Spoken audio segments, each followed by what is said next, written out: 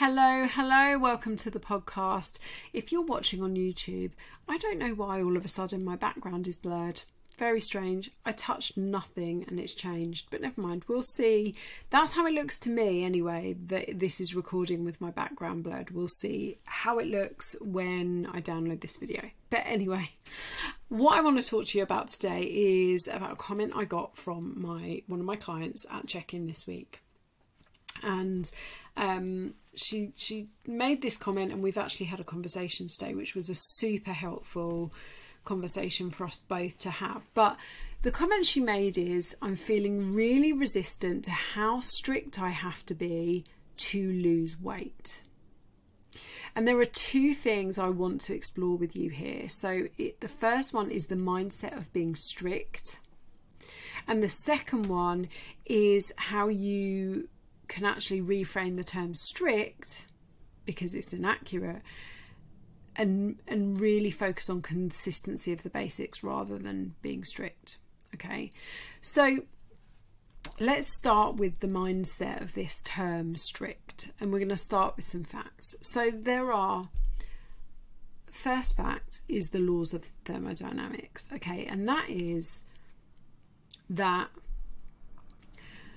or an energy balance, right? So, in order to lose body fat, you need to consume less energy or calories than you expend, right?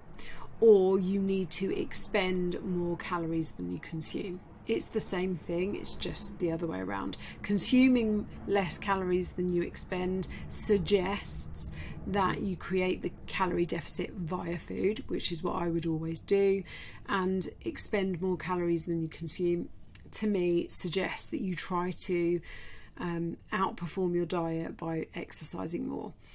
The thing is, unless you are a professional athlete who is training twice a day, seven days a week, it's unlikely you're going to be able to move that much and expend that much energy that you create the calorie deficit via movement.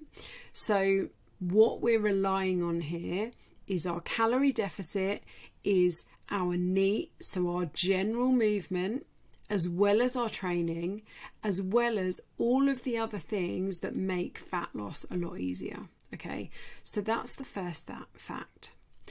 The second fact is you cannot eat and drink everything you want to in the quantities that you're used to and have the health, fitness, and body that you want. So, if you are currently on a fat loss journey or you want to lose body fat, if you continue eating and drinking in the way that you are, that has got you to where you are now, you will not lose body fat. So, as I mentioned in last week's podcast, I came back last week from an 18 day holiday in France. Okay, now if I ate and drank and moved like I did on holiday every day, I would gain weight. Fact. And I did gain a little bit of weight. Um, but if I did, if I continued eating and drinking the way I was on holiday and moving less, which is what I did, every day I would gain weight. Now, yes, you can enjoy your food and drink and not ban anything, but you do need to learn moderation. That's a fact, okay? Because you cannot have all of the cake and all of the alcohol and all of the booze and all of that stuff and still have the body that you want. And if there are people that are jumping into your mind and you're thinking, but that person seems to eat and drink what they want and they never put on weight, the laws of energy balance and thermodynamics stay the same. They stay the same. And it is likely that that person that you're thinking of they might it might appear to you every time you see them that they eat like a horse. Maybe you go out for dinner with them every couple of months. But actually they don't eat a huge amount during the day. And actually maybe they walk a lot and they expend a lot of energy. So whatever way you're thinking about this calorie deficit is required along with all of the other basics. But you need to understand that you cannot continue in the way that you currently are if you've been gaining weight, if you're on a fat loss journey, eating and drinking whatever you want, and still be healthy, fit, and lose body fat. That's just a fact. Okay. So let's think about this word strict and what that is doing to your mindset and then therefore your behaviors. Okay, so having this belief that you have to be really strict in order to lose weight is a limiting belief. And that will in turn impact your choices, actions, and behaviors.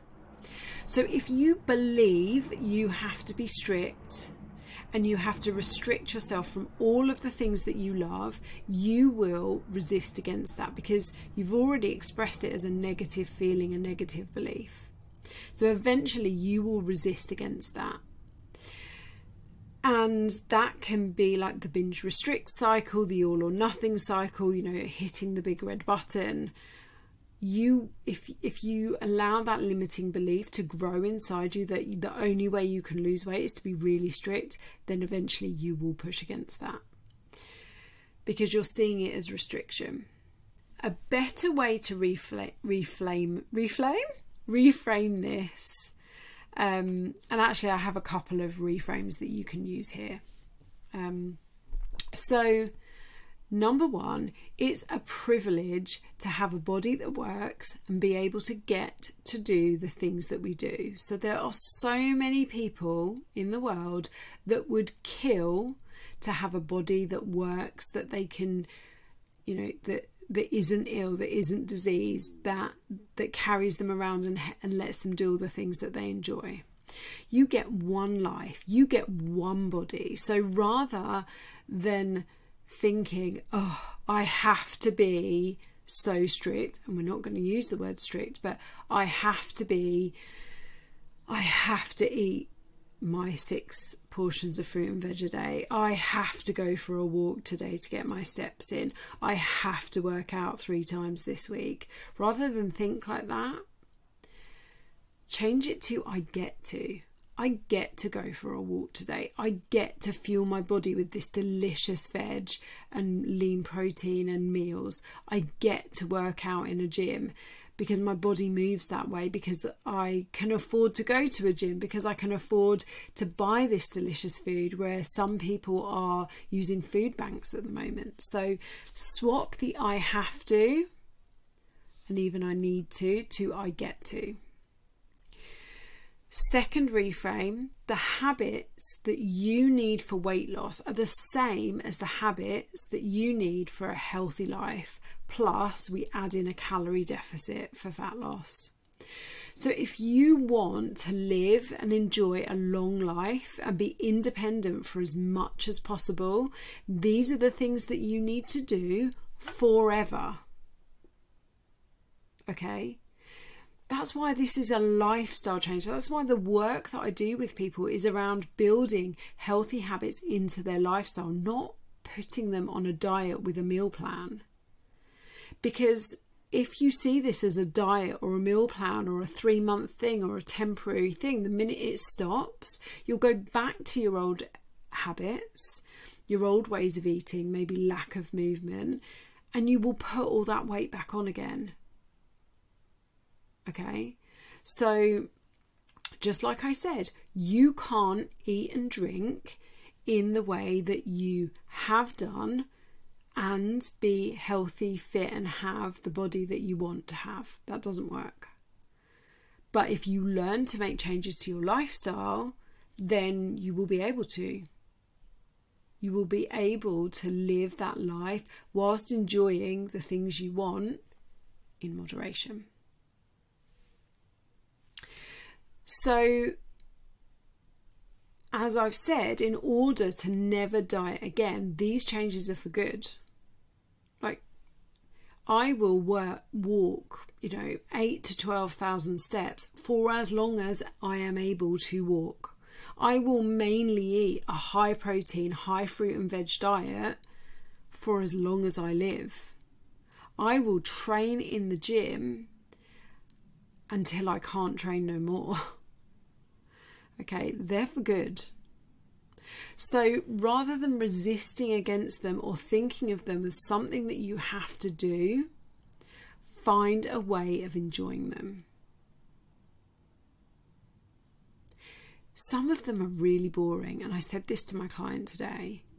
Some of these things are boring, but find enjoyment. Like it's cheesy, but fall in love with the process.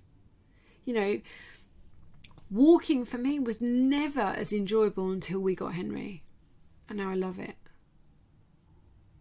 Going to the gym was not enjoyable for me until I learnt to lift weights. I love cooking. Sometimes I don't want to cook. On a Friday night, I hate cooking. So I whack on some cheesy music and I dance while I'm doing it. And I also make Friday mo- Friday evenings dinner super easy so that it doesn't take much effort. Okay? So find a way of enjoying these boring basics. So that's changing your mindset a little bit on this word strict. And then the second thing I wanted to talk about was how it's not actually about being strict, it's about being consistent. So if you change that word strict to consistent, it becomes a lot clearer and easier to see how you can do this and also where you possibly haven't been doing it. So I've talked about this many times, but I am always looking for consistency from my clients of 85 to 95% of the time. So that's 85 to 95% of the time I want them ticking the boxes of the basics because that is what gets you results. And if you are not getting your results, if you're not getting the results you want, I want you to ask yourself and answer really honestly how many days out of the last 30 have you consistently ticked these boxes? So, these are the boxes you need to tick in order to lose body fat. So, eating in a calorie deficit and it doesn't matter the method you use, whether you're intermittent fasting, whether you're juicing, whether you're doing keto, whether you're calorie counting, Weight Watchers, Slimming World. How many days out of 30 have you eaten in a calorie deficit, stuck to your target? How many days out of 30 have you got 7 to 10k steps per day? How many days out of 30 have you eaten at least five portions of fruit and veg? How many days out of 30 have you eaten at least 100 grams of protein? How many days out of 30 have you done some sort of training? Ideally, lifting weights, but it could be something else at least three times per week. How many days out of 30 have you got at least seven hours sleep? So, to be consistent, you need to have ticked these boxes there or thereabouts 26 days out of 30 so you you basically could have it's actually a little bit it's just under 27 and just over 26 but we're going to say 26 so not doing it perfectly but mostly doing it. What do I mean by that? So maybe one day was 6,800 steps. Maybe one day was a pub lunch, but you picked the highest protein meal that you had, and you also made sure you got your five fruit and veg in that day. Maybe one day you went out for dinner in the evening, but you enjoyed two courses rather than three courses plus wine. So you maybe know that you went over your calories that that day but you know you also made a really conscious choice not to go a thousand calories over and you went you know 700 calories over that's what i mean by consistency so ticking those boxes 26 27 days out of 30 and if you think back and you honestly can't answer yes to that question, then that is why you're not getting results because you're not being consistent. Okay? So remove that mindset of strictness and consistently hit those basics.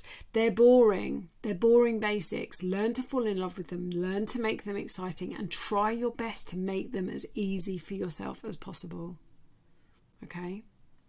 So, if what I've talked about resonates with you and you would love to come and get some help from me on how you can do this, I would love to help you. Come and have a look at my website themumbossmethod.com you'll see that you can work with me in two ways um, I offer one to one coaching and also group coaching. All of the details are on my website. And if you are listening to this on or before the 4th of September, I am running a five day free reset from the 4th of September that can help you to build in these habits, these boring basics, make them a bit more fun, and get you some accountability and some support for five days completely free. So you'll find the link to that in the show notes.